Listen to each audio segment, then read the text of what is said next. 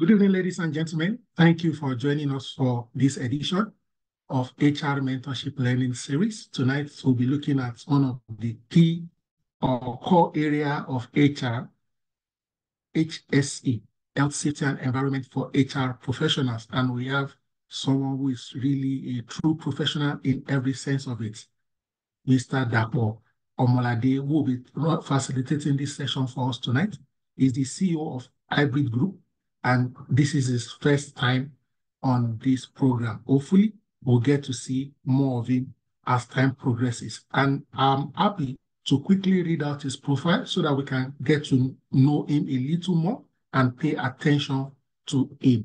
Okay, he's a qualified safety and sustainability practitioner and consultant with over 24 active and consistent years of experience in occupational health, safety, environment, and project management. Also is very vast in operations, training and consulting for clients, for example, but not limited to oil and gas, construction, power, energy, manufacturing, and other industries. At the moment, is the CEO of Hybrid Group, a one-stop shop for everything safety training consultancy. He has a master's in environmental and safety management and other professional relevant qualifications such as NEBOSH, IOSH, and so on. He's an alumnus of the Harvard School of Public Health, London School of Business and Finance, Lagos Business School, Columbia Southern University, University of Agric, Abeokuta, and so on and so forth. He's the former chairman of IOSH West Africa. He's also the president of Safety Advocacy and Empowerment Foundation, SAIF, and the National Publicity Secretary, Oil and Gas Trainers Association of Nigeria, OCTA. He's a board member Occupational Safety Society of Nigeria. He's also the founder of the Omolade Empowerment Initiative. He's a safety practitioner, entrepreneur, advocate, consultant, trainer, auditor, coach, mentor, and speaker at conferences and forums such as the one we're having tonight. In addition to this, okay, is involved in human empowerment and capacity building generally. He is married, lives with his family in Lagos, and his hobbies include reading, social networking, and watching football. So obviously, you know, you should be planning to watch uh, England and Spain right now. Dapo, do you want to tell us who you are supporting? I'd like to hand over control to you, sir. You have the floor, sir. Oh, okay, thank you so very much, uh, Mr. Oluyemi Adeosun. Really appreciate this opportunity to be here. Um, a few moments ago, I sent a message to Fumi. I said, do you know his finals at 8 o'clock? How come I forgot this? I wouldn't have accepted. So, but what has to be done has to be done. So I'm here and uh, I'm supporting England to win the, the cup. It's been a long time. So I'm hoping after missing last session, they will meet, they will be able to get this one. All right, thank you. of course, I'm not, hopefully I'll be able to see the last part. When I told him, he said, don't worry, you watch the replay. I said she doesn't understand because if she knows, she'll understand that replay is not the same thing. But thank you so much. I'm so glad to be here. Um, it's a very great pleasure to be working and speaking with us in the HR team. Uh, this is, you know, one of the very important function in the organization that I've worked with very closely. And in the last uh, few years, I've been trying to build a very solid relationship with HR because of my understanding of the uniqueness, the interplay, the relationship between what I do and what the HS, I mean, the HR professionals do. So that has given me a lot of um, a lot of um, reason, not just to be among them, to be close to them, but also to start learning from them. As a matter of fact, I've been in CIPM. I've exhibited in one of the CIPM conferences in Abuja, where I took my company there. I've had opportunity to also speak in one of the CIPM events. So, and um, interestingly, during my tenure as the chair of IOSH West Africa, I've I was one of those people that actually foster the MOU that IOSH presently has with CIPM. Okay, So, which is a very important um, MOU for collaboration.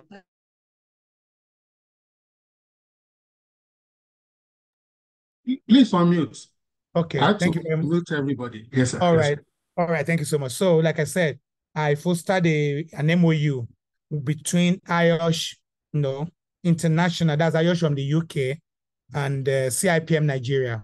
And that MOU is still presently, you know, subsisting, is, is, is ongoing. And there are a lot of things happening within that scope of that MOU. And the reason why I had to do that was because it wasn't difficult for me after a few years of my practice to understand that um, HR team or HR as a function is a very important function for me because the the understanding of the relationship between the two functions will only promote one thing in the workplace and that's to ensure that the people you know are in good state. So that's why when Fumi mentioned this to me it wasn't difficult to say yes because um this is what I want to do this is because I also believe that um, there's a whole lot of lacuna, there's a whole lot of misunderstanding between that two functions in the organizations in Nigeria today. I've had to be in, you know, in meetings where I had to mediate between the HR and the safety. While they're supposed to be working together, it became a very big battle where I had to stand in, mediate, and try to clarify. So I'm also very aware that there can be a misunderstanding, you know. Let me tell you very quickly, even as I start this conversation, that um, um, in the HR space, I mean, the HSE space, especially in Nigeria today, there's a belief from all of us, which we're also trying to change, that if they put you as a safety person under an HR function to report to, then you are not going to be able to perform. That is a misunderstanding, but that's a very strong belief that even when you talk to some of our people that are mentoring and coaching, and you hear oh, in my department, in my organization, we do not have a safety department, so I'm forced to report to the HR and I'm having issues. This is also because there's always this misunderstanding between the HR and HSE, which does not allow for that interplay to take place.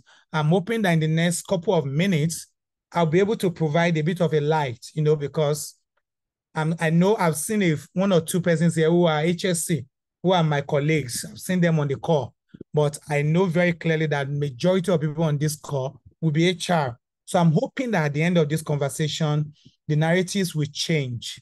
We'll begin to have um, a better understanding on how those two functions can collaborate to ensure that the workforce, the people, are actually treated as the most important asset in the business. That's the language that everybody speaks. Our people are the most important assets. But you do find out in the organi- in the industry and in workplaces that this is better said than done. So it means there's a whole lot of we're saying it, but we're not walking the talk. So people are not treated as the most important assets just because there is no understanding of how we should actually work. So I'm hoping that in this session, this clarity will be done and they will be able to really improve and make that goal achievable, that the people will continue to be the biggest and the most important asset. They will be the people that you know we cherish, we care for, and we do everything about to make sure that the workplace, you know, is safe and is good for us. So my goal and objective is to bring an understanding of the critical relationship between health and safety and environment, and then the human resources functions, recognizing how their collaboration enhances workplace safety, employee well-being, and organizational success. All right, so thank you so much for the profile. I mean, this is just an abridged part of the profile. Right, so outline, I'll look at a bit of what HSA is and the HR. And I want to say thank you for what um, uh, Ms. Uh, Dr. I think it's Dr. Oluyemi said with respect to HSE being a very important, I mean, he actually said, he said it's core, it's core part of HR. I'm so glad to hear that because not many people actually say that. So I'm sure you are saying this from a place of knowledge. There are many, many HR today that do not understand the core aspect of HSE within them. As a matter of fact, not seeing HSE as a big component of their own work, that if they ensure that the HSE functions work well, then they will achieve their own goal. So I'm going to try and do that and see that interaction between them. Then we'll see how the responsibility, you know, marry one another. Look at some legal compliance and risk management. Look at employee well-being and how a safety culture or what we call the culture of the organization can be developed. Then I'll see how we can now look at HSE as a component of HR. So what Dr. Liemi said, I'm going to bring it to the table. How does HSE actually function within the HR scope? And then finally, look at the strategic partnership, how to manage crisis, trends that we are seeing right now and are going to see in the nearest future, and of course the benefits. So let's go. So before I continue, I would like to read this food for thought, a very in, interesting quote that was given by Dr. John Howard. Dr. John Howard is the director of um, National Institute of Occupational Safety and Health. National Institute of Occupational Safety and Health. That's in the US. And he said talent management, which I know is what HR people deal with, and safety management are two sides of the same coin. Both aim to protect and to nurture an organization's most valuable assets. This quotation, which I saw some years ago, was one of those things that actually gave me, you know, the challenge and the conviction within myself that I must do everything to work with the HR team because it's so clear that we are actually chasing the same goal. It may appear that we're looking at it from different angle, but indeed it's actually from the same direction. We are looking at it from the same direction. You know, when I speak with my medical team, medical doctors, and those in that profession, sometimes I do a lot of harassment and I tell them their one is very easy. I tell them very straightforward. My job is to make sure that nobody comes to see you. Full stop. And they're like, what do you mean by that? If I do my job well in the organization, you will not have people come around to see you. If ever they come to see you, they're not coming in pains. They're not coming in agonies. They are coming with laughter and joy to say, hey, doc, okay, I'm just here to do my check. Just check me. What's going on? Not that the person is coming with a broken head, you know, a, a, a lost limb, or maybe a, a lung that is already, you know, destroyed. So that's what I say to the doctors. But to the HR, I can't say that because everything that we do between the HSA and HR, apart from a bit of a technical issue that we do in safety, majority of what we do falls directly within the HSE. If I'll put it this way, we do the job to make the HR productive. Because when the HR have to produce their uh, metrics at the end of every time, and they need to show their, their figures of how the workers are being happy, how the workers are doing their job, how the workers are excited being in the workplace. HSE make that happen. We are the ones that do the dirty job for the HR to take the glory. And that's why sometimes it gets to a point where it looks like a competition. Hey, why you do my job? Okay, I've seen that happen. I'll see mention some of them in the course of this conversation where you say, Can I? I'm, oh, I'm just trying to do that. Yeah, and HR manager saying, That's not your job. That's my scope of work. You stick to your job. And sometimes that is one of the reasons why my HSE team, uh, no, especially Nigeria, feel HR, HR do not allow them do their job because of that, you know, very slim space where we have to interface or we have to get into the old system in order for us to make the HR, HR shines. So let me put it here. For an HR professional that want to shine in your workplace, you've got to make the HSE your friend. And I, I, am saying this not because I'm an HSE person. No, I've told you already, I have to start learning HR. I have to learn learning, you know, you know, how to manage, you know, human assets. I have to start learning everything about productivity because I just realized that if I'm able to learn that, then I can understand where the HR function is coming from. But the reality is, you want to shine, you want to be the superstar in your workplace, let the HSE people be your go to. They are the ones that can give you the information even before they have the capacity in their learning and knowledge to understand what can happen and be able to bring it to the table before it occurs. Why you get there and you, why the HR at some point may start getting reactive. HSE people can be proactive right from beginning. In fact, before the job starts, they can tell from their own experience and training what you will be managing in the next 10 years. I'll give you an example.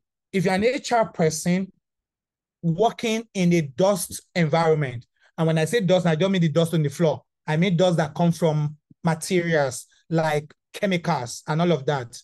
Even if that job has not started, that company is still being built. They are still building, they've not even started production.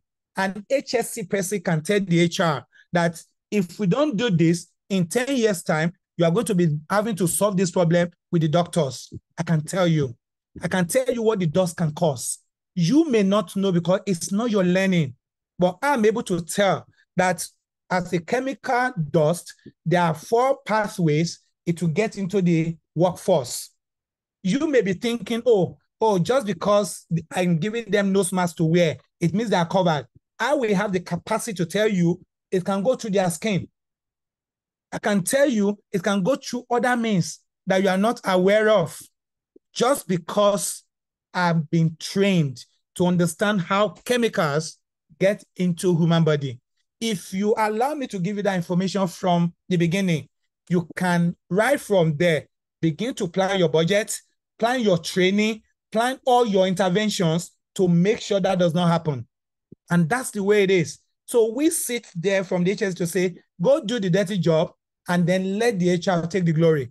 That's the way it is because we start it, the HR finishes it. It's the beginning and the ending. Therefore, we're actually supposed to be two sides of the coin, just as Dr. John Howard said in this place. And I want us to put that in perspective as we move on. So before I go here, I would like to hear some interaction in the house. And please, um, it's my way of doing it. I don't know if it's allowed, but I would like to get some interaction in the house. And this could be anybody. And I would like to ask any HR person here, if anybody asks you, let's say, let me make the age a bit um a bit higher. Let's say an eight-year-old. An eight-year-old is supposed to be in the junior elementary, if I'm not mistaken, getting ready for the senior. If an eight-year-old asks you simple question as what is safety at workplace? What is safety at workplace? Oh, auntie, oh, uncle, I heard that you do safety in your workplace. What exactly does this safety mean? Can I have one or two persons who would like to speak to that in the house? One or two persons, please. Yes, thank you, Daniel Psyche. Thank you very much. So you can mute and please speak. Daniel, please, can you unmute yourself or I need to ask you to unmute? Okay. Okay.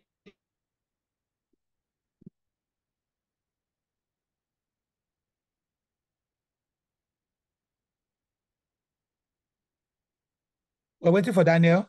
Sorry. Okay. Uh, hello. Can you hear Yes, me I now? I can hear you very well. Thank Okay. you. Uh, good. So, um, safety means prevention from accident and reaction towards accident. Prevention, it means um, putting proactive measures in place to prevent it from happening. Reactive means when it happens, what are the control to mitigate the effects? Thank you so very much, Daniel. Thank you. Thank you so much. Any other person, please?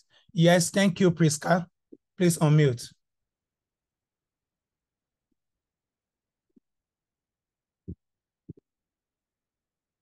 Okay, good evening, everyone. Good evening. Thank you. Safety, from my understanding, is the prevention of potential hazard, not just waiting for, it is a hazard you foresee. It may likely happen. You prevent Hmm. that potential hazard. Okay. So thank you. So let's let's get this a bit more interesting. So Priska has opened up something else. So, and I need us to look at that word that Priska just opened up now. Say prevention of potential hazards. Not Priska, you, I'll save you, Priska. This is not going to be for you. But anybody else, not a safety person here, but an HR person. What is that word hazard that Priska just mentioned? What does that word actually means? Can anybody try? from the HR team, please? Anybody's hand up? Anybody's hand? I'm very good at calling names if nobody saves us. So I'm going through the names now. Any name that interests me, I'm going to call. If nobody is saving us. Hazard. Thank you. Uh, Priska again. Priska, okay, let me allow you since you want to save us. Priska, yes.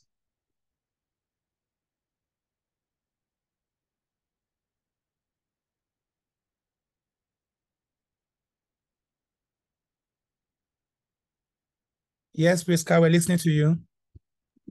Okay, I said for me, I think that hazards are anything that anything that has the ability or the potential to harm us now or in the nearest future. Mm, thank you. It could be on any unsafe, only unsafe act or unsafe conditions that can potentially harm anybody in the, now Fantastic. or in the future. Fantastic. Thank you so much. Daniel, want to add something to that? Yes? Okay, uh, hazard, as um, Priska has said, hazard is anything that has the potential to cause harm, and it can come in form of unsafe acts and unsafe conditions. Thank you so very much. It's as simple as you have said. So health and safety or safety has been generally called, you know, we do refer this, we do refer to this as HSE, but indeed it's actually two components that have been married together. You know, you have occupational health, married with safety, and then married with environment. Because the three actually are geared towards the same goal. So that's why we call them HSE. But for the sake of the nomenclature, I'll just be saying safety. Just now I'm talking about the three of those three things. Thank you. So a potential, something that has potential to cause harm or hurt to anyone. And that something could be anything. It could be anything, living things, non-living things, inanimate, anything that has potential to cause a harm is a hazard. So safety to an five-year-old simply means prevention of that thing that can cause harm to you. That thing, that anything that can cause harm, prevention of it. And that prevention, of course, I also like what Daniel said, because if you are not able to prevent, you also need to protect. But in the most simply, simple, simplest form of this conversation, you need to look at safety as prevention of harm. Prevention of harm to people. This suggests quickly that people can get hurt. It suggests quickly that people can get harm. And I know in many workplaces, HR people are always right at the forefront when injury occurs because there are many questions they need to answer. In fact, in some conversation, when the incident has occurred and somebody has been harmed, you may not even see the safety again. It's the HR that takes it further, especially when it involves the legal compliance, the issue of compensation, the issue of um, you know regulatory framework, the issue of reporting. You see that the HR are now the people that are moving it. In fact, sometimes the HSE would have even forgotten that something has happened. I was talking to a colleague recently who had a very terrible fatal accident in the organization. And I was asking him, how have you guys solved that problem? Because when he told me that issue last year, there were a whole lot of issues from the families, you know, of the person that was lost. So I was asking, how did that eventually play out? How did you conclude on it? Do you know what he said? Say, oh, that's thing. That thing has been closed in my book. Oh, we've closed it. I don't even know if the HR has even completed everything. I need to go and ask. Do you know what that meant? He has finished his own job. He has done his investigation. He has sent his report. He has made his recommendation. He has dropped it on the HR. HR, please, can you close out? So then when I say the HSE people start the whole process, the HR finishes it. Then you understand that the two functions cannot be at loggerheads because if I refuse to do my own job, the HR will suffer. If HR refuses to do his own job, the HSE is coming back to also suffer. So there is there is this very symbiotic relationship that must occur between those two functions. And that's what we're trying to look at right now. So health is promotion and maintaining the physical and mental well-being, as simple as it is on the slide. So you talk about several issues, which I know the HR knows very well. Occupational health programs, wellness program, mental health support, and all of that. But you will understand very quickly that all these three things that we have talked about here, there's something that can defeat them, and that's the hazard. So who manages the hazard is the safety or the HSE function. If the HSE functions manages the hazard, then you are not going to have an economic issue. You are not going to have a mental health issue.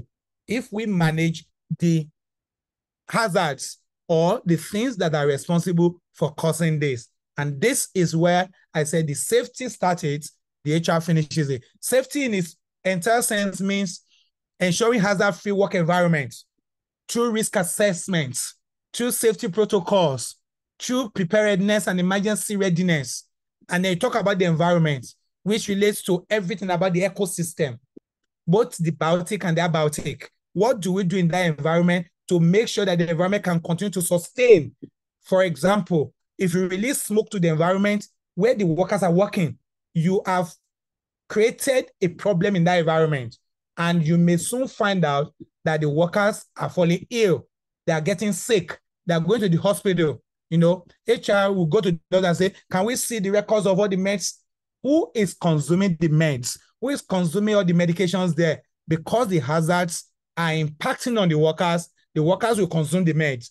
And then the HR will say, Oh, our meds are finishing so quickly. What's going on? HSE is not doing its job. The workers are getting sick. Then the HR is spending more money in the medical facility. This is the way the interaction takes place. So it is a function, or the two functions are together and they're supposed to be seamless if we want to ens ensure the workplace is safe. So what is the importance of HSE?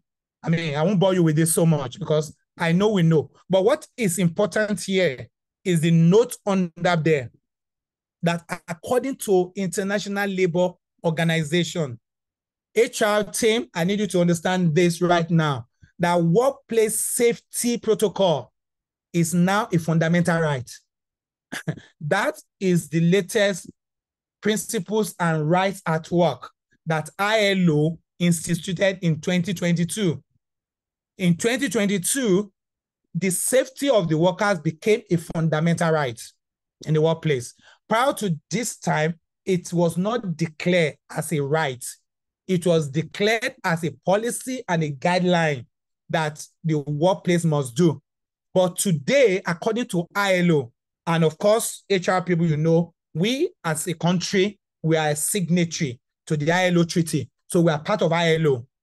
What that means is this ILO has instituted now and agreed that if workplace safety is not guaranteeing your workplace or in your organization, you are violating the right of the workers. The workers have a right, and that right is that safety must be secured. It was not there before now, and that's what I've just added here. Prior to this time, there were four. And not these four is also what HR looks at. But it will surprise you to know that while HR looks at all of this, HS actually enforces this freedom of association and the right to collective bargaining. That's labor that I know HR people deal with all the time. Elimination of forced and compulsory labor. That's also HR issue, but very strong health and safety issue. I have an organization that we're working with, and then suddenly a an underage was allowed to come into the workplace without the knowledge of the system. And when the owners of the project saw this, I was shocked when I heard from the owners of the business saying, we will not hesitate to take legal action against the contractor that brought an underage to our facility. What does that mean? Because underage, forced labor, child labor, these are issues of health and safety, which HR monitors, but HSE have to enforce. HSE have to make sure it does not happen. Because when you bring child, you know, children to work in the workplace, automatically you are violating the right of the child. The child is supposed to be in school. or being educated, not working at that time. Therefore, you have violated the human right. And in 2022, and you can see the poster here, this was what came up in 2022 as part of the you know celebration from ILO saying a safe and a healthy working environment is now a fundamental right. So it bestows upon of us, all of us HS, HR people here, that this is part of the conversation that we must take to the business. That when health and safety are saying we need the following to make sure the workers are safe, it's no longer a choice. It's no longer an opinion. It's actually a right, according to ILO. I see Daniel's hand and I assume he wants to ask a question. Daniel, please go ahead and ask your question. Okay. Um. Okay. So my question goes on the issue of um child labor, because I've actually had an experience on my site whereby mm. a contractor bring, you know, um, a young person, you know, uh, to to work, and there was argument that if the young young boy, for example, is not under any employment, or if the boy is an apprentice, he can be allowed to work under the supervision of his master. Hmm. So is that allowed? Okay, so thank you very mm. much. So answer that quickly, and it's very straightforward. In Nigeria today, there's a requirement for industrial training, which can also be apprenticeship. If I come into as an industrial training worker, it is understood right from the documentation that I'm here to learn as part of my learning. I'm not here to work. So when somebody comes in and he's being wager, is being paid, is on the payroll, then that's labor. But if I come in as an IT or an apprentice into a workplace, I cannot be under wager. I cannot be under people that will be paid at the end of the day because it is understood right from the documentation that brought the person in that is on IT, is an apprentice, is here to learn how to understand the job that he's doing. He's not here to work. A work is different from a learning. So if you can establish that that young worker actually came in as an apprentice, then can your documentation provide for that to say this person came as an apprentice, not a worker his name should not be on the workers list. Because if his name is on the workers list, then you have basically told us you are paying him. So he's a worker. I hope I'm able to answer the question. Yes, sir. Um, yes. Yes, sir. yes. Thank you so much. All right. So but just to round up. Hello? Let's, let's proceed. Let's okay. security post. All, all of right. them write their name on Hello, sir. Hello, sir. I step, I step down the question. I step okay. down the question. Please, let's proceed, sir, okay. with the webinar. Okay, Questions so maybe at the end, we ask the question at the end. Thank you, sir. All right, all right. Thank you so much. All right, so so this is the fundamental principles and rights at work, and is now five because a safe and a healthy working environment has now been embedded. So it's also very important because, to be honest with you guys, the HR function how many of you understand that in the workplace, HR function is always easily listened to by the owner of the business? How many of us believe that? Can I get a response on the on the chat room? How many of you believe that the HR team always get the ears of the management? Yeah. Yes, the HR team get, I mean, very easily, they get the ears of the owner of the business quickly when safety is even still struggling to persuade, to beg, to ask for things to be done, once it's coming from HR, the owners of the business listen. They listen very quickly because that function is very close to that level. So if that function now knows that if HS is coming to demand for a safe workplace, it is their own goal as a right that they must protect because HR is very close and very related to labor matter. So in labor matter is the HR that is in the forefront. So it is now a fundamental right and must be seen as that. So let's go to some of the role of HS and HR in an organization. And this just summarized, but there are so many discussion here that you see in subsequent slides. The HSE develops and implement the policies and the procedures for, for HS in the workplace. Of course, they conduct risk assessment, they carry out safety audits, they do the monitoring of all the processes, they do training and education through awareness, advocacy, whatever you call the toolbox talk, pep talk, you know, weekly meetings, whatever way you call it, where information is given out. They ensure compliance with regulations, especially the HS regulation. And this is big on governance. When I get to governance, I'll talk about that because HSE is a component of governance. Governance is within HR. So you see how it works. Investigating incidents and near misses, of course, one of those roles that HSE people do not like so much because anytime you have to investigate, you have already lost something. You have lost something. So it's a reactive role.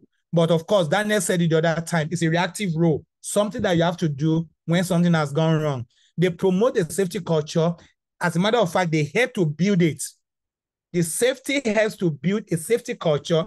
So when you now talk about an organizational culture of the workplace, safety is one of it.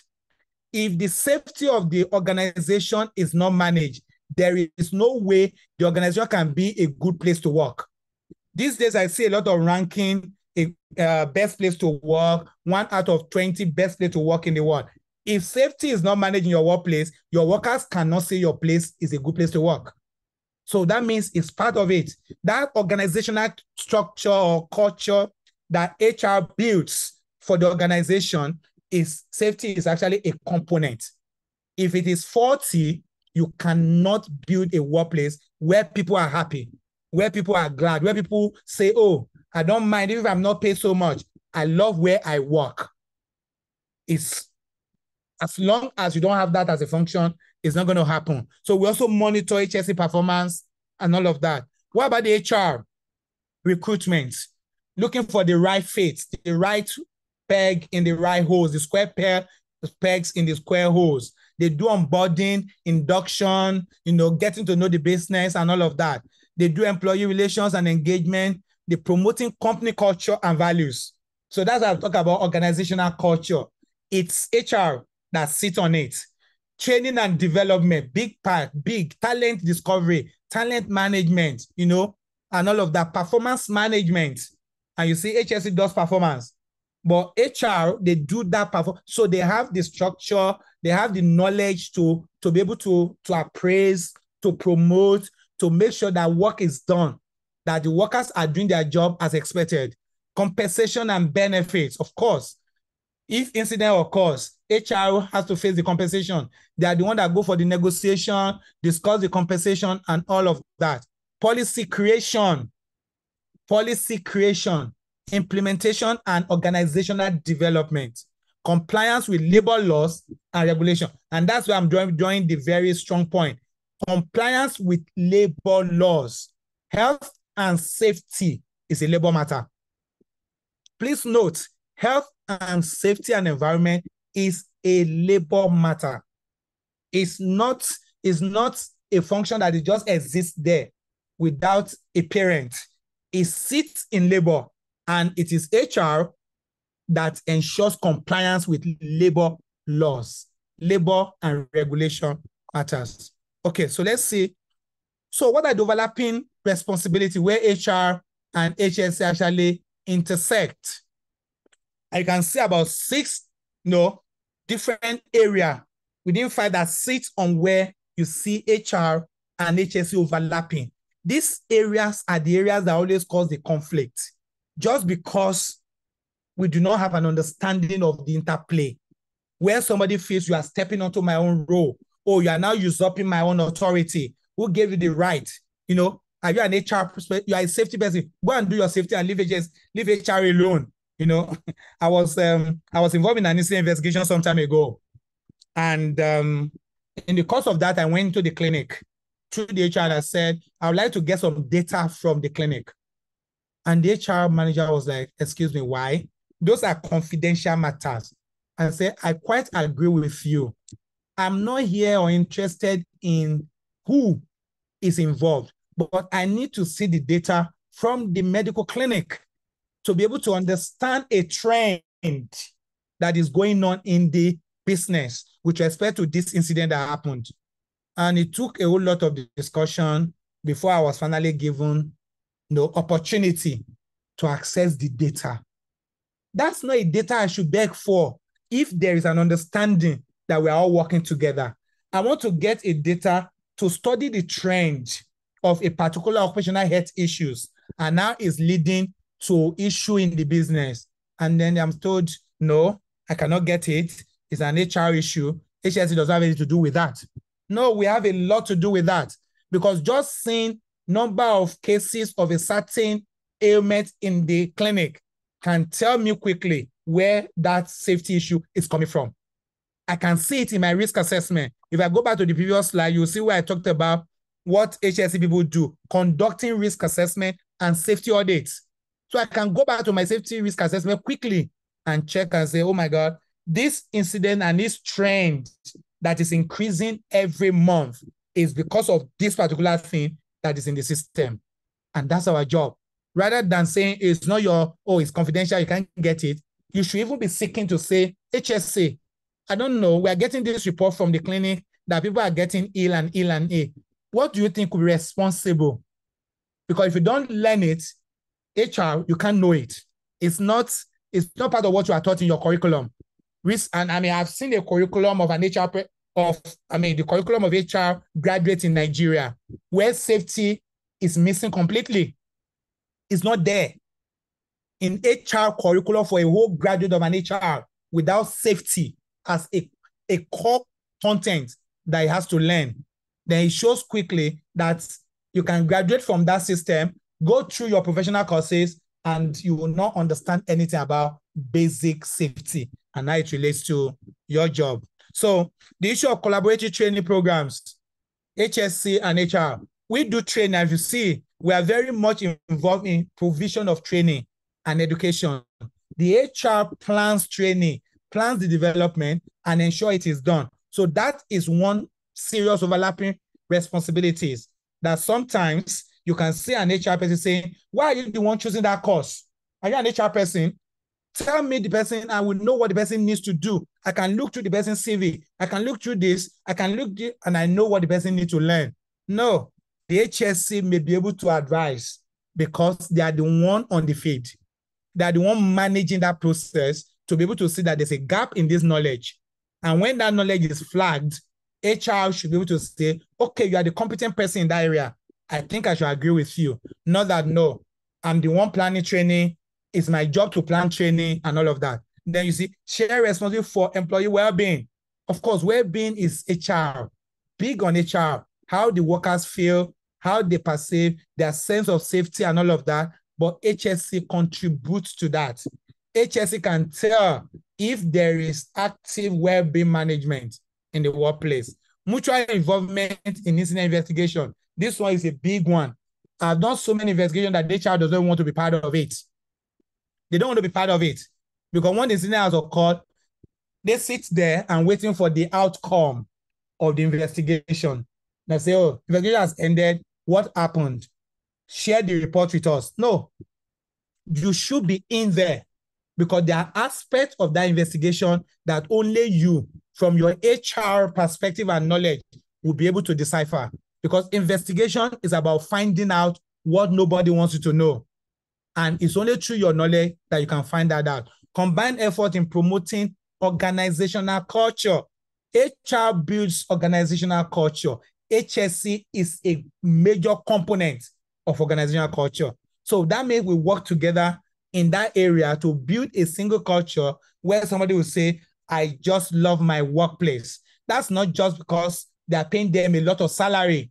That's also because they're protecting them.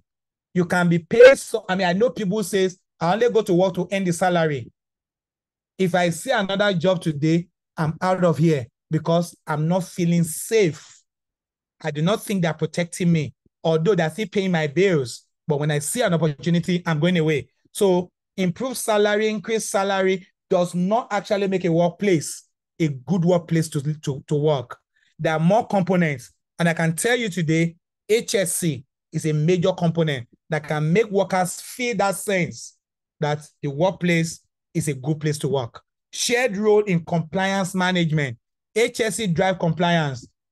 HR monitors compliance because legal infrastructure, legal register, a lot of those compliance issues are within the HR, within the governance, especially if it's an organization that does not have a full, robust legal department. If an organization does not have a full and robust legal department, the HR sits on the governance, sits on the compliance, and that is part of what safety. I don't know if you understand how many regulations that safety people have to monitor in their workplace, how many things that are bound by laws that they must obey. And if they don't enforce it, HR we have problem in their governance structure. All right. And all of this, you can see joint policy development and implementation. That's what you have in the in the in the foundation. And they also have joint crisis management and planning. I want to challenge us here. If you're in HR and you are hearing what we're saying now, you need to consciously be involved in crisis management in your workplace. It's not just HSE function, it's also an HR role for you to be able to understand what will happen to the people when an emergency occurs. Then legal compliance. So this, I'm just going to go through all that I've explained here now. So you can see what legal compliance, HR, and HSE, see how they work together. Number one, understanding relevant HSE laws, ensuring proper documentation and record keeping, coordinating internal audits and inspections, updating policies, HR, and procedures to reflect legal changes. So when something change, when the law changes, the HR must be aware of it. They must know, and they must be ready to change their policy to suit the new regulation. Handling legal issues that relate to workplace incident, especially when it comes to compensation, when it comes to a whole lot of um, no prohibition, you know, they lock up an organization because of safety compliance. HR has a whole lot to play. Collaborating on discipline, disciplinary actions for safety violations. When safety infractions take place, HR has to be the one to do what? To issue the final, you know, consequence management. That's what we call it. The whole consequence management structure is in HR, which means if an HSE issue is breached, HR should be ready. The same way they will give query for someone who is stealing and hand over the person to the security, the same way they should be willing to also apply consequence for people that violate safety. And what I see in many organizations is safety violations have not been documented. There's no there's no metrics. There's no what you call there's no structure to say this is the uh, consequences for safety infraction, but they have consequences for all that HR stuff, e.g., not coming to work more than three times in a week, uh, coming late to work, or no, no, absent without uh, leave, and all of that. They, they, there are consequences. I know every HR has those consequences that have been documented as policy. The question is, do you have such consequences also documented on behalf of HSE you know, infractions? So that the HSE does not even need to worry himself that somebody has violated our HSE policy, HR will take action okay, young man, you are not coming to this office for the next four days for not wearing your PPE after three times warning. If that comes from the HR, it shows how HR is collaborating with HSE to make the workplace safe. But if that does not exist in the policy, remember, HR formulates policies. So policies on consequence management for HSE must be part of what HR has on their table documented, approved by the management, and enforced by the system. It's an HR that has the cost that the custodian of that. So that's legal compliance. Let's get to risk assessment. Okay. So in under 10 minutes, I'll be rounding this up. Risk assessment, HR role in supporting HSE initiatives. So because HSE initiatives have to be driven, that's why we talk about HSE programs. HSE people bring out program to ensure that the workplace is safe and the workers are safe. So how does HR support in this? providing workforce data for risk analysis. That was what I was talking about the other time. How can how can the HR go to the management to say, okay, I think we now need to institute a once in a month health walk. Found out that our business, the obesity trend has increased by 40% in the last one year. That was one of the trends I did for an some time ago. It's not because people are being well paid. Suddenly, everybody is going fat. Now, when everybody start becoming obese in the workplace, it's an issue. How did you find out? We're able to trace that from data that was coming from the medical because they take their weight all the time. And they were able to find out that we are having 40% of the workforce becoming obese. And then we went to the HR to say, we need to institute a health walk. Like, health walk? Why do you need health walk? No, every one Saturday in a month, we want all you to give us through the management approved two hours where all we're going to do in the workplace is just some gymnastics, some aerobics, and all of that. Because our people are getting obese. If HR does not allow us access to that data, how do we provide? Because the world is run by data, by the way. If you do not have a data, you're only another person with an opinion. So it is the data that helps us to run. And all these data are in HR. So it's only when HSE has access to those data that they can provide solutions to the problems. So they also assist in identifying just specific hazards. They support the implementation of control measures. That's HR. They help in incorporating risk assessment results in job descriptions. This is a very interesting one. When, when I had my conversation in IPMs, I think two or three years ago, and I was speaking, I said something that was very interesting. I actually wrote an article about it some years ago in one of the national dailies. And that article, I basically said, I said, uh, um, facing the HR in their games, something like that. And what I said is, if an employee has been employed and you have been given a job description and the HR include in the job description the risk assessment, if you are the worker here, and I want anybody to talk if you are here, and HR, you got your job, you got your employment letter with the job description. And in that job description, there's a risk assessment that says, we have employed you as a radiographer. Being a radiographer here means you're going to be doing these jobs. It also means that in the course of this job, these things can happen to you. E.g., you can be exposed to radons. You can be exposed to radioactive materials that can cause cancer and can kill you and can denature your, your systems. And they put all of that in your employment letter. How many of us here will accept that kind of employment letter, irrespective of how much they want to pay you? How many of us? Let me see you. If you accept the letter that clearly states the risk of what's going to happen to you when you are doing the job, and those risks are clearly stated, saying you can be a cancer age patient in 10 years because of the job that you're going to be doing for us. How many of us will accept the job?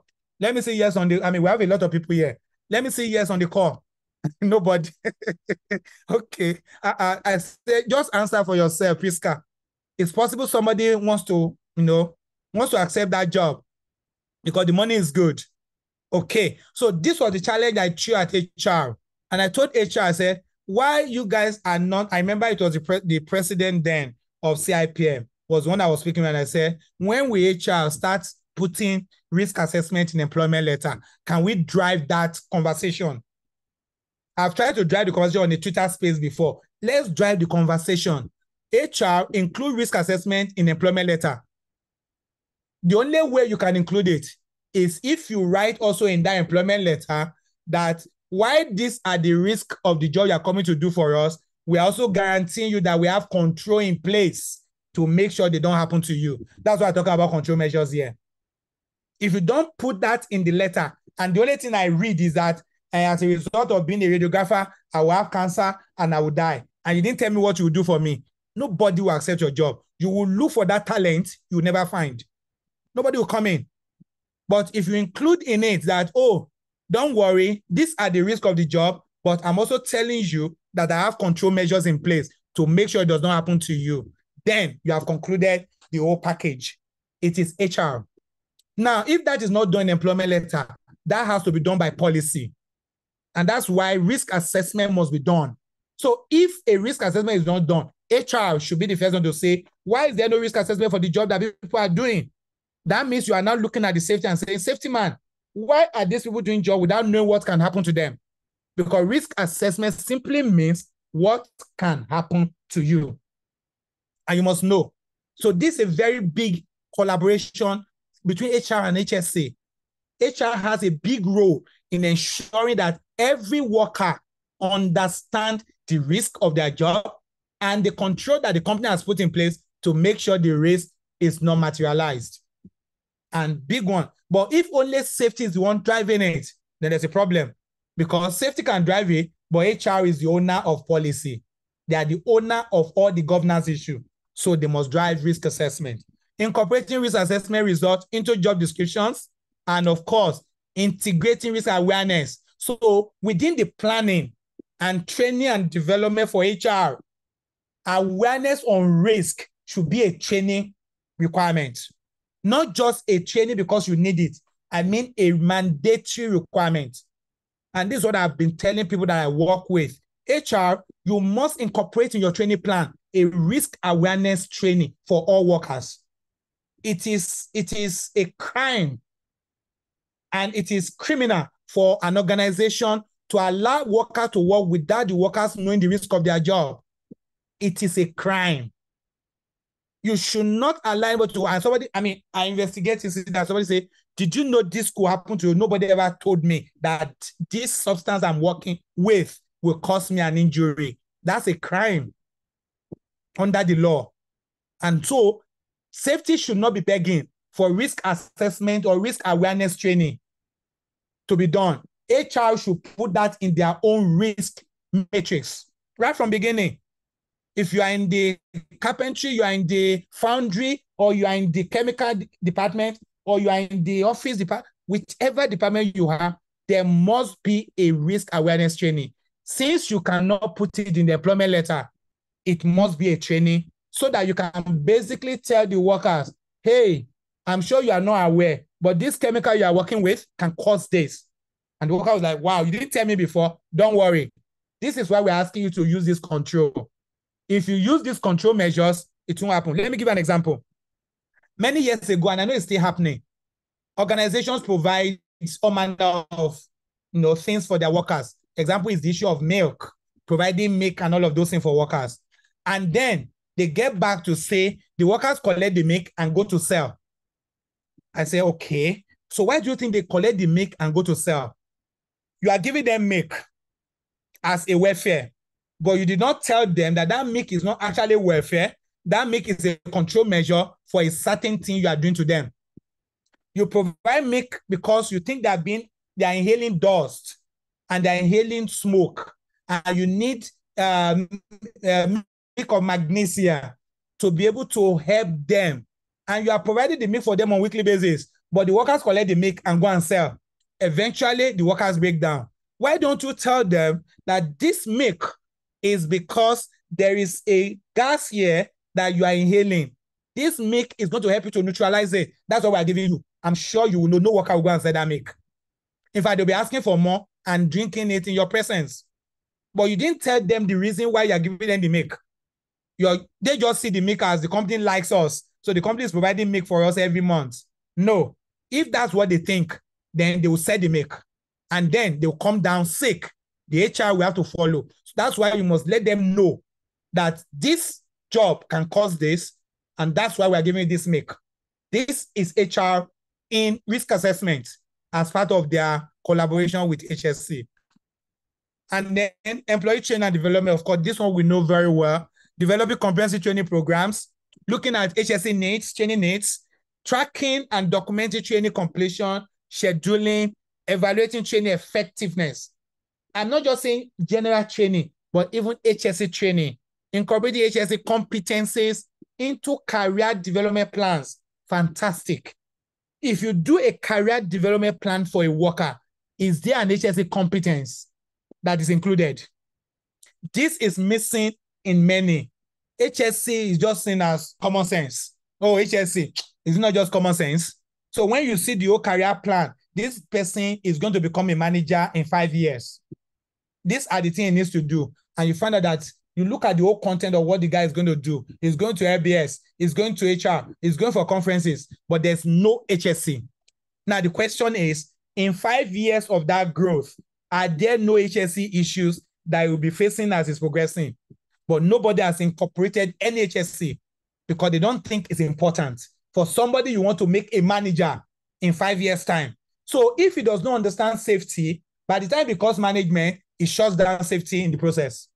But if he has learned the safety as part of his career growth, by the time he becomes the manager, he will be the, at the forefront pushing for HSE for his workers.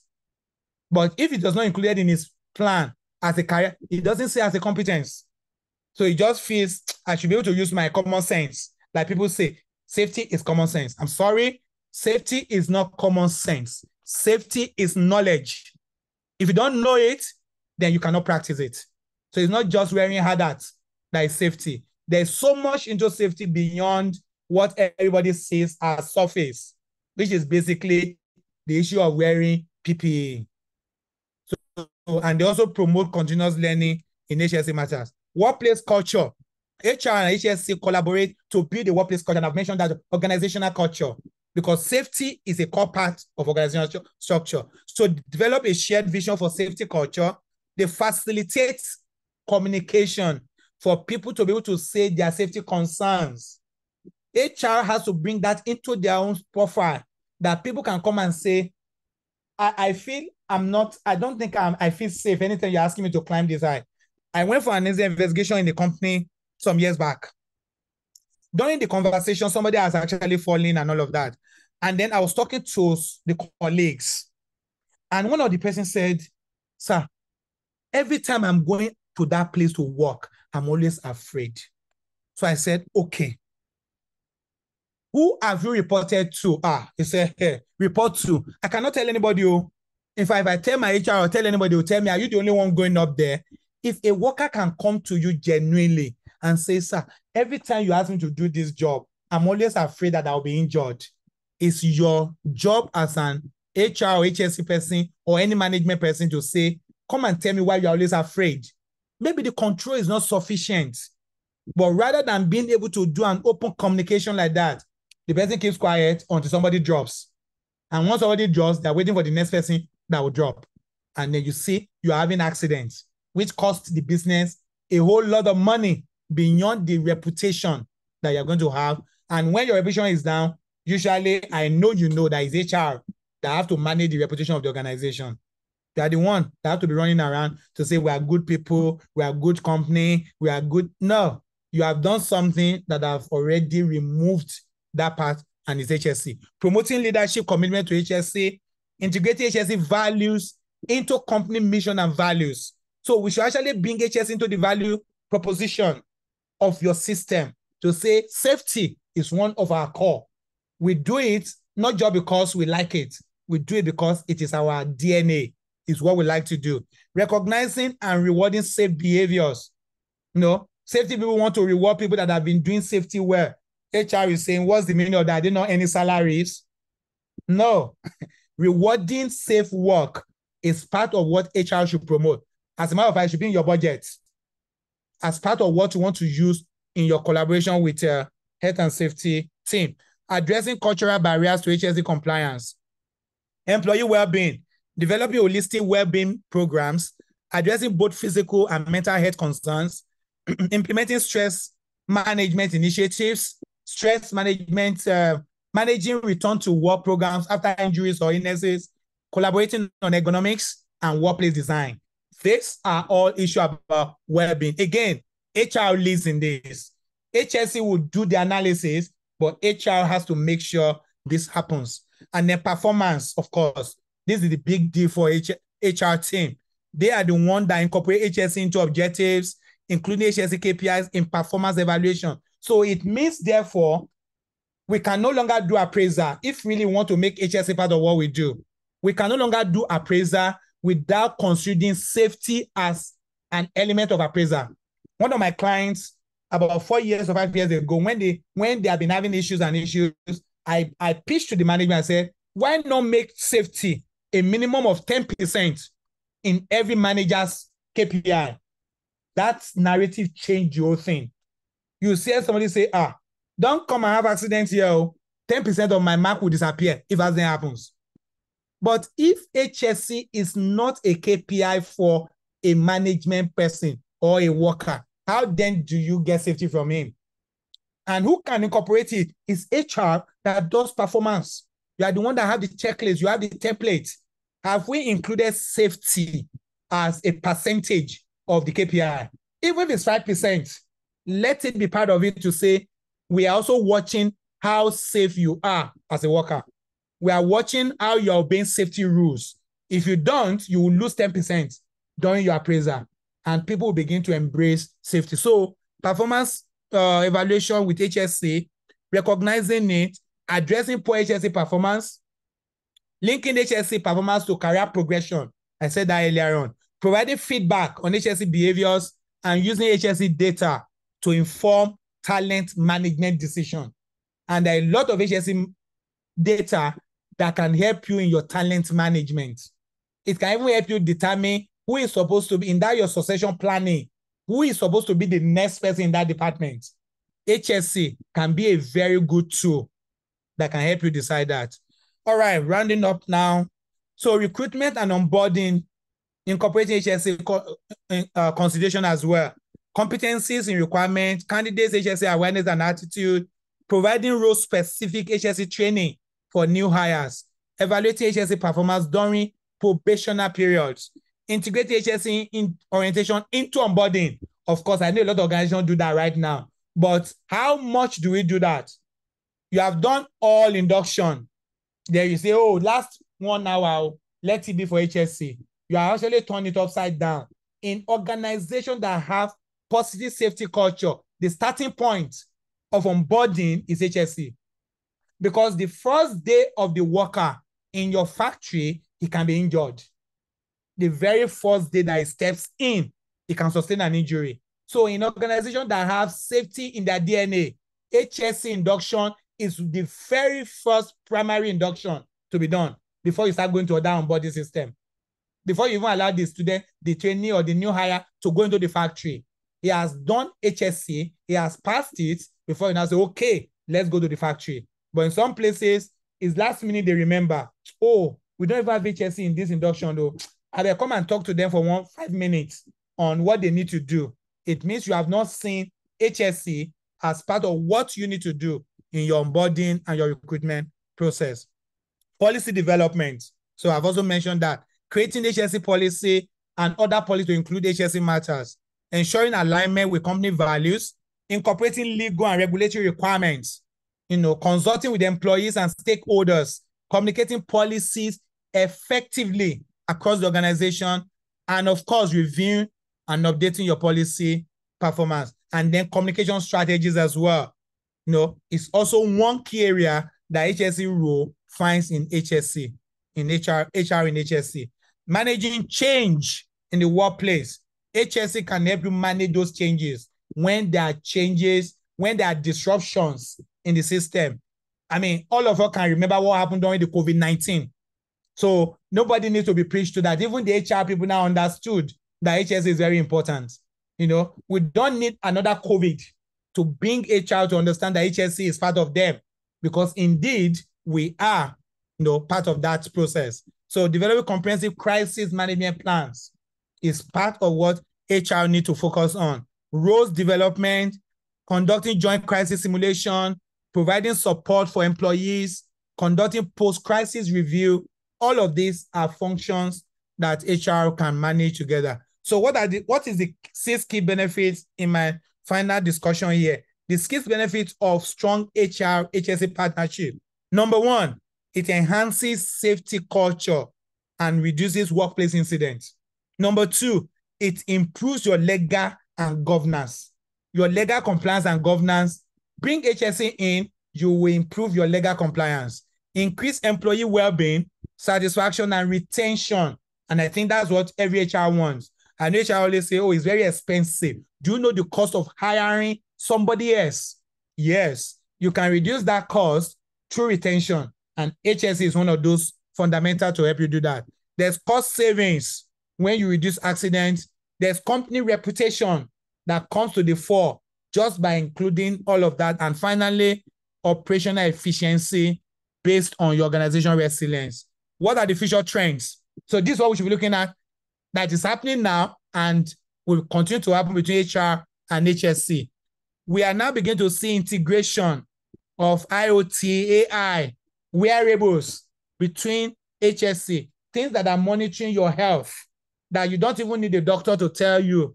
And all of these are becoming the future trend between HR and HSE. Addressing emerging risk, remote working, for example. I'm sure a lot of us are in our homes now. I'm working from my home. Remote working. Some of us work one, two days uh, out of the week from home. What's happening to you while you're at home? That's the future if you don't know. More work from home is going to happen. COVID made it happen, and we're not going back to how we used to do it. So if we're going to do that, then we need to understand that these trends, HR and need to be working together to be able to, to, to design how this system will work. Those that are working from home in your system, is there any HSE policy, HSE monitoring, HSE KPI for them when they're working from home? Something to think about. Focusing on sustainability and social responsibility. So HR, CSR, HSE is a big part of, of, of CSR. That's what we are calling today the sustainability initiatives, adapting to changing workforce demographics and expectations, and preparing for new regulations and global standard. So for HR, HR persons here, these are a few but very fundamental focus area. And I want to challenge you that this area requires knowledge, requires some learning. These learnings, you will not get them in, in HR discussion. You need to get into HSE and learn it. HSE fundamentals, you need to know it as an HR person. In fact, you are not a complete HR professional if you don't know HSE fundamentals. Because that's the reason why the struggle is there. By the time you know some fundamentals in HSE, it allows you to be able to understand what HSE does in your business, and you need to learn it. Either way, virtual, physical, in person, online, you will need to learn HSE fundamentals. If you don't learn it, you won't know it. And you'll still be doing your HR the way it is, which is not what we're looking at here. Social sustainability or sustainability as a full package is a learning is something you need to learn. Ergonomics, workplace ergonomics, you need to learn it. Well-being and wellness. Yes, HR think they know it, but I can challenge you that you will find out that there are so many you don't know if you don't go and learn what well-being and wellness means. Mental health. Mental health. It's not a HR thing unless you learn it. Workplace stress, compliance management, emergency response, and very last one, labor standards. These are all competent subject matters that HR people need to go for and learn. And I want to challenge you to try and create time. Look for places where you can learn this.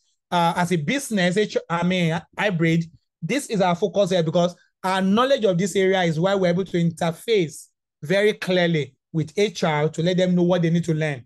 Because indeed, we are learning from what, what we need to learn from HR. But because I'm speaking to HR people here, you have some core areas in safety that you must put in your career progression. It has to be in your learning plan. If you don't have it, you will struggle in the modern HR management that involves HSE. Finally, the synergy between HR and HSE is like the body's immune system. It does not just react to threats, it proactively creates an environment where the entire organization can flourish. This is by Dr. Todd Conklin, a human and organizational performance expert. The synergy between HR and HSE is like the body immune system. It doesn't just react to threats of diseases or problem. It proactively creates the environment to make sure that the organization or that your body can function. So it creates that environment to make sure your organization is flourishing. And this is very good because HR is about organizational uh, achievement and flourishing. HSE helps you to do that within. So I say in my last word here, a safe workplace, which I put in bracket HSE, is a productive workplace. And that's HR. So when you talk about productivity, that's what HR is chasing. And when we talk about safety, that's what we are chasing. So when the workplace is safe, HSE, it automatically becomes a productive workplace and HR can take the glory. Thank you so very much, everyone. Uh, I hope I've been able to say a little and I'll wait for your question after now. Thank you, everyone. Fantastic, fantastic. Thank you so much for the knowledge, wealth of knowledge, experience you have shared. I love the energy, the passion. In fact, if England plays the way you have spoken, they will win the they will win the match. It's still 0-0, by the way, just to, to update you. Ladies and gentlemen, we'll be taking the first question quickly from Adeyemi Kolapo. If you have a question, either type it quickly in the chat box or raise your hands and we recognize you. Keep it straight and direct, please. Adeyemi, you have the floor. Yes. Good afternoon, sir. Yeah, good evening. Good evening. Good We, evening. we know he's Sorry, calling from evening. Canada. He's in Nigeria. it's evening. All right. Sorry. Good evening. Good evening. Uh, please, my question will be very straight. You know, we have so many sectors in Nigeria. We have the banking sectors. Let me be peculiar to the FMCG sectors. FMCG, okay? Yeah, ev everything is all about sales, sales, sales, sales, like that. So you talk about compliance to Mm. HLC. We have HLC officer. You understand? So I just want to understand in such sectors, from your broad experience, how do you think HLC can strive and achieve its goals? You know, because you know the overall objective of the organization is to make sales. You know, and anything that doesn't bring money to organization, organization does not value that. You mm-hmm. understand? So you preaching HLC to management and preaching HLC to HR, they'll see it as a mundane thing. You understand what I'm saying?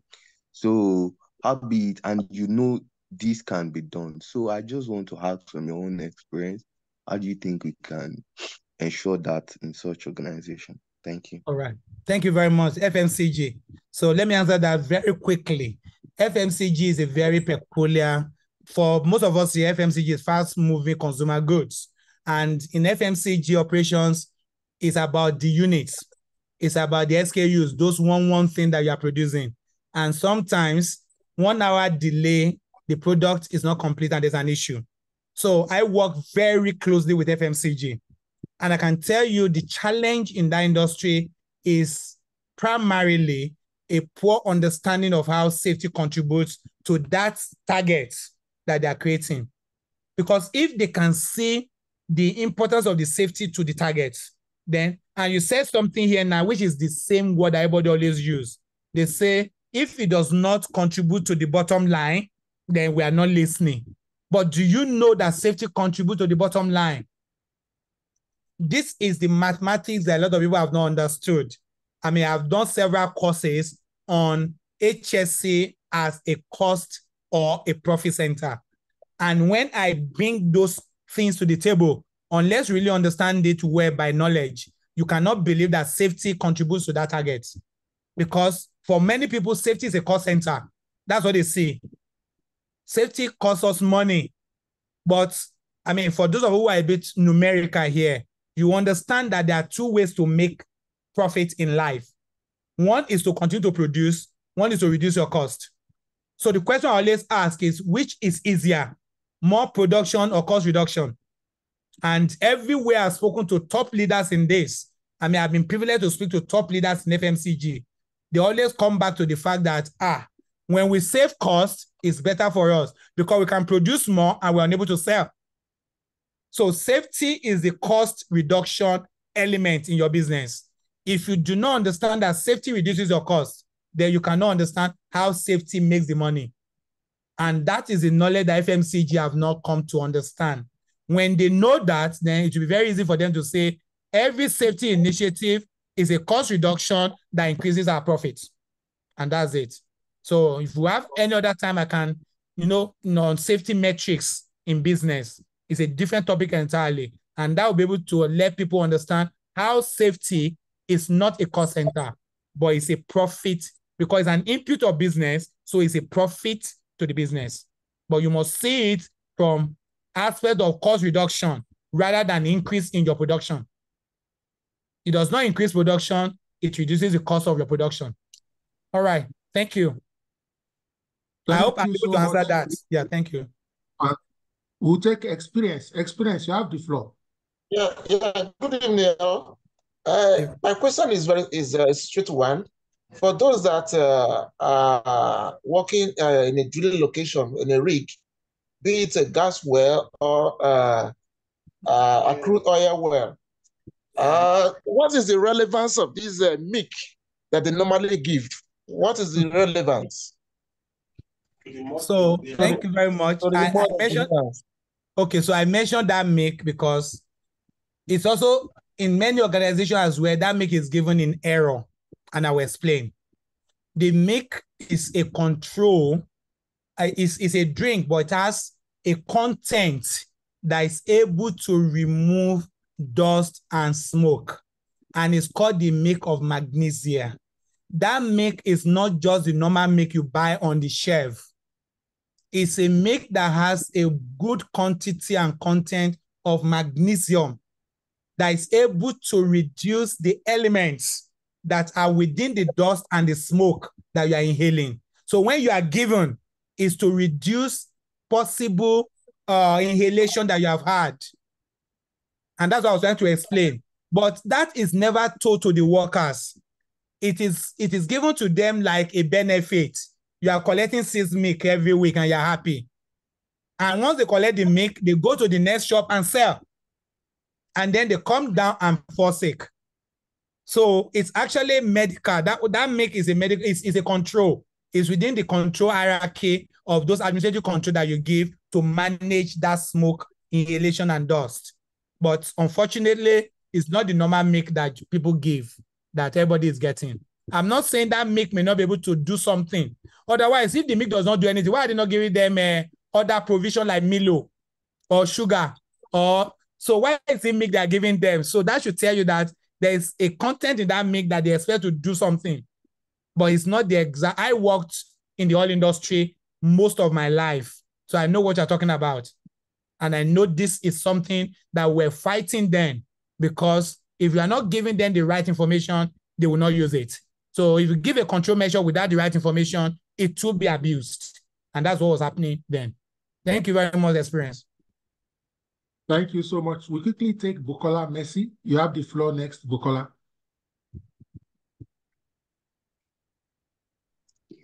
Hello, good evening, everyone. Um, good evening, sir. Good Thank evening, you ma'am. very much for this insightful and impactful um, lecture.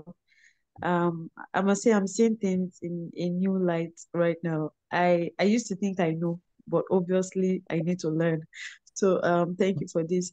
So um, my question now is um similar to the person that asked questions around sales. Now um for instance, uh, where I work, we um, have a lot of employees that travel to rural areas because of the nature of the job. They are always on on the move, going from one community to the other, engaging farmers, basically. And um, you know, Nigerian roads are. I pray Nigerian road does not happen to anybody, but you know, it's it baffles me and scares me because I really don't know what to put in place for such.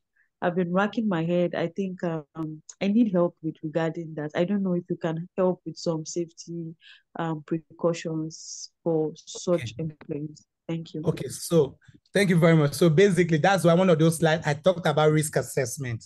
So what you're actually asking for now is the risk assessment of those workers. And for you to do the risk assessment of the workers, you must be able to basically highlight in details what do they do, how did they do it, how did they get to where they do it. So that will include logistics and transportation, the means of transportation, the work that they do, the time that they move. When you do all of that within that risk assessment structure, you will be able to look at the task, look at the hazards of those each task, look at the risk of the hazard, and look at the control measures. So I don't mind if after now you want to reach out to me, I'm able to provide you a guideline on that kind of job and just share a generic template of risk assessment with you because that risk assessment is what tells you what to do. Right here, we cannot say, oh, provide them with this, provide them with this, because there are many things within the scope of what they do that may need to be analyzed before you decide the best control measures. So that's why risk assessment is the solution to that. So, I mean, my contact is here, so you can reach out to me after now. I'll try and give you a bit of guideline on that, if you don't mind. Thank you so much, sir. We'll be taking the last voice question and then check the chat on Zoom to see if there are any questions there. Tony Lawson, you have the floor.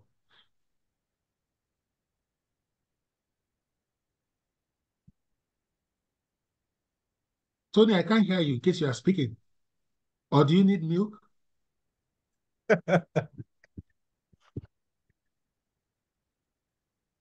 okay. I think um, we may have network um, challenges. So we quickly switch to Daniel. Daniel, to your question, please. Okay. Um, I really appreciate the presenter. He has spoken well on this call, but I just have um, some concern about with the HR, and there is a need for for we to do more.